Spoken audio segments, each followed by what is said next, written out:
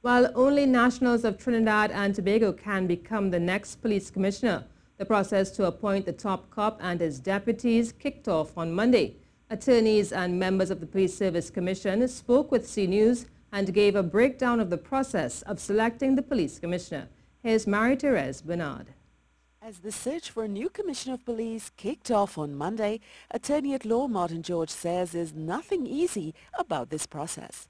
It is easier in this country to appoint a chief justice, a prime minister, a president. It's easier to appoint to any of those offices than it is to appoint a commissioner of police because it's been years now that this process has been in play. We've had several court actions, you know, we've had delays.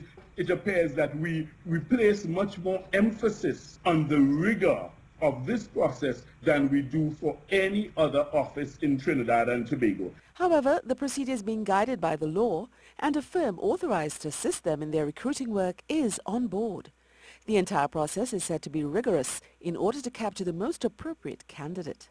We have several layers to our vetting process. We have security vetting, we have a medical health and fitness vetting, then we also have psychometric testing. We are also going to be using assessment centers. So it's a multi-layered system whereby you end up screening and screening and screening until you end up with a shortlist of the best possible candidates. The Police Service Commission remains in direct control of the recruitment of a top cop, and Mr. George says that according to the law, only a native of Trinidad and Tobago can apply.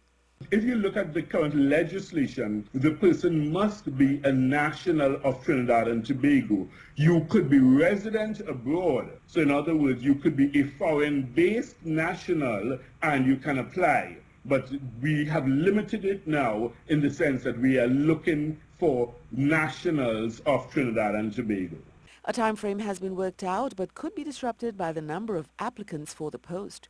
Mr. George makes it clear the PSC will not sacrifice due diligence on the altar of expediency. Marie-Therese Bernard, C News.